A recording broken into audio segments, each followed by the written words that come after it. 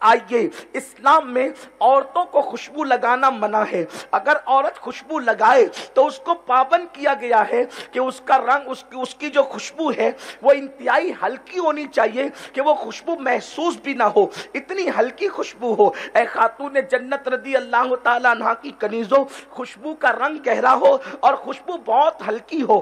اگر ایسی خوشبو جو ان عورت لگا کر گھر سے نکلتی ہے، جو آس پاس والوں کو خوشبو محسوس ہوتی ہے ہے اور خوشبو کی لپیٹیں اٹھتی ہے آؤ آؤ، اللہ کے رسول صلی اللہ علیہ وسلم کا فرمان ذرا دھڑکتے ہوئے دل سے سنو۔ اپنے دلوں پہ ہاتھ رکھ کر کے پہلے تھوڑی ایک بات میں آپ سے عرض کرنا چاہتا ہوں۔ حدیث پاک بیان کرنے سے پہلے اللہ اکبر، معاذ اللہ، اگر کسی عورت کے متعلق محلے میں یہ کوئی کہہ دے کہ یہ عورت تو زانیہ ہے یہ عورت تو بدکار ہے، بولو کیا تم اس کی صحبت میں اٹھو گی؟ کیا تم اس کی صحبت میں بیٹھو گی؟ کیا تم اس کو اپنی سہیلی بناؤ؟ گی اللہ اکبر، اگر کوئی کسی کو زانی اور بدکار کہہ دے، تو سارا زمانہ اس سے نفرت کرتا ہے۔ سنو سنو، غیب دا نبی صلی اللہ علیہ وسلم فرماتے ہیں، جو عورت اپنے گھر سے خوشبو لگا کر کے نکلتی ہے، یہاں تک کہ مردوں کو اس کی خوشبو محسوس ہوتی ہے۔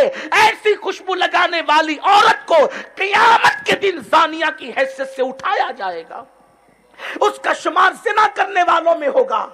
اللہ اکبر، اللہ اللہ اندازہ تو کریں یہ اللہ کے حبیب غیب دا نبی صلی اللہ علیہ وآلہ وسلم فرما رہے ہیں کہ ایسی خوشبو لگانے والی عورت جس کے بدن سے خوشبو کی لپیٹیں اٹھے، مردوں تک کہ اس کی خوشبو پہنچ جائے، ایسی عورت کو قیامت کے دن بدکار کی حیثیت سے، زانیہ کی حیثیت سے اٹھایا جائے گا۔ میرے آقا صلی اللہ علیہ وسلم کی کنیزوں، یہ کسی مولوی کا قول نہیں، یہ کسی ادیب و خطیب کا قول نہیں کہ آپ اس کے اندر ترمیم کرنے کی کوشش کرو۔ کرو۔ یہ اس رسول کا فرمان ہے۔ یہ اس آقا کریم صلی اللہ علیہ وآلہ وسلم کا فرمان ہے۔ جس کی زبان پر رب کا کلام جاری ہوتا ہے، جس کی زبان پر خدا کا کلام جاری ہوتا ہے، جو اپنی طبیعت سے کبھی بولتے ہی نہیں۔ آؤ آؤ۔ اس یہی وجہ تو تھی کہ حضرات صحابہ کرام رضوان اللہ تعالی علیہ مجمعین عورتوں کے معاملے میں کتنا محتاط تھے۔ حضرت سیدنا ابو حریرہ رضی اللہ تعالیٰ عنہ ایک مرتبہ تشریف فرما ہے۔ ایسے میں ایک عورت خوشبو لگا کر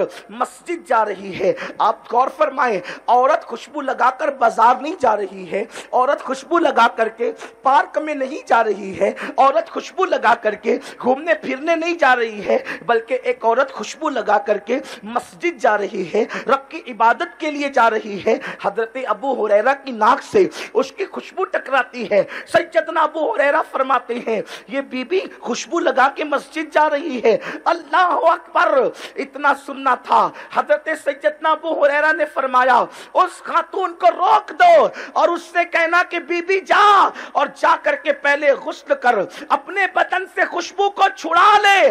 اس کے بعد مسجد جا، کیونکہ میں نے اپنے کانوں سے سنا ہے، جو عورتیں خوشبو لگا کر گھر سے باہر نکلے، کہ ان کی خوشبو کی لپیٹیں مردوں کی ناک تک کے پہنچ کے انہیں متاثر کرے۔ ایسی عورتیں لانتی ہے۔ ان پر اللہ تبارک و تعالی لانت فرماتا ہے۔ صرف خوشبو لگانے کا یہ وبال ہے کہ عورت گھر سے خوشبو لگا کر کے نکلے۔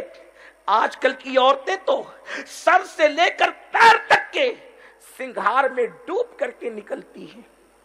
اسلام نے سنگھار کو منع نہیں کیا ہے، لیکن سنگھار صرف اپنے شوہر کے لیے۔ سنگھار صرف شوہر کے لیے ہے اور کسی کے لیے سنگھار نہیں ہے۔ لیکن آج شوہر کے لیے سنگھار نہیں کیا جاتا، بازار کے لیے سنگھار۔ فلموں کے ہال جانے تک کے لیے سنگھار، ولیموں میں جانے کے لیے سنگھار۔ بلکہ اللہ اکبر، اب تو سنگھار کا بھی طور بدل رہا ہے، اس کا طریقہ بدل رہا ہے۔ کل کی عورتیں گھر میں بیٹھ کر سنگار کرتی تھی اور پھر باہر نکلتی تھی۔ اسلام نے اس کی بھی اجازت نہیں دی۔ اب تو عورتیں سنگار کرنے کے لیے باہر جاتی ہیں۔ بیوٹی پارلروں میں جاتی ہے اور وہاں جا کر کے سنگار کرتی ہے۔ کبھی مردوں کے ہاتھ سے، کبھی اجنبی عورتوں کے ہاتھ سے۔ اور بڑی معذرت کے ساتھ ہر بیوٹی پارلر کو ہم کچھ نہیں کہتے، لیکن اتنا ضرور کہتے ہیں۔ آج کل بیوٹی پارلر جو ہے، وہ زنا کے اڈے بنتے جا رہے ہیں۔ وہاں سے باضابطہ طور پہ برائی پھیلانے کی کوشش کی جا رہی ہے۔ اے خاتون جنت کی کنیزوں، سنو سنو، دل کے کانوں سے سنو۔ اللہ کے حبیب غیب دا نبی صلی اللہ علیہ وآلہ وسلم نے ارشاد فرمایا، اللہ اللہ، میرے کریم آقا، صحابہ سے فرماتے ہیں، اے میرے صحابہ، جب میں نے جہنم کا مشاہدہ کیا تو میں نے دیکھا ایک گڑا ہے اور اس گڑے سے عورتوں کے چیخنے چلانے کی آوازیں آ رہی ہے۔ عورتوں کے چیخنے چلانے کی دردناک آوازیں آ رہی ہے۔ صنف نازک کہلانے والی میری بہنوں، آخر تمہارے اندر اتنی طاقت کہاں سے آئے گی کہ تم لوگ چپکلی اور چوہے کو دیکھ کر کے ڈر جاتی ہو۔ اللہ کے عذاب کو تم کیسے برداشت کرو گی؟ اپنا برا کرنے والی میری بہن، تو اپنی زندگی کو تباہ نہ کر، تو اپنی زندگی کو برباد نہ کر۔ یہ چار دن کی چاندنی کے لیے تو نے اپنی آخرت کو کیوں تباہ کرنا؟ تو نے اپنی آخرت کو کیوں برباد کرنا؟ اے خاتون جنت کی کنیزو، اللہ کے حبیب، غیب دا نبی صلی اللہ علیہ وآلہ وسلم ارشاد فرماتے ہیں، جہنم کے ایک گڑے سے، جہنم کے ایک کنویں سے عورتوں کے چیخنے چلانے کی دردناک آواز آتی تھی۔ وہ آواز اتنی دردناک تھی کہ کلیجہ منہ کو آتا تھا۔ میں نے پوچھا، جبریل، یہ کون سی عورتیں ہیں؟ ان کے دردناک چیخنے چلانے کی آوازیں کیوں آ رہی ہے؟ ان کی آہو فگا کیوں ہے؟ ان کی آہو بکا کیوں ہے؟ تو جبریل امین نے عرض کیا، یا رسول اللہ، یہ آپ کی امت کی وہ عورت عورتیں ہیں جو ناجائز چیزوں کے ساتھ سنگھار کیا کرتی تھی۔ جب یہ بنتی سمرتی تھی تو ناجائز طریقے سے بنتی سمرتی تھی۔ ناجائز چیزوں کا استعمال بننے سورنے میں کرتی تھی۔ اس لیے آج ان پر یہ عذاب کیا جا رہا ہے۔ آپ سے میں پوچھنا چاہتا ہوں، گھنٹے دو گھنٹوں کے حسن کے لیے یا کسی کی تعریف کے لیے بولو میری بہنوں، تم ولیمے میں اسی لیے سور کر کے جاتی ہو نا؟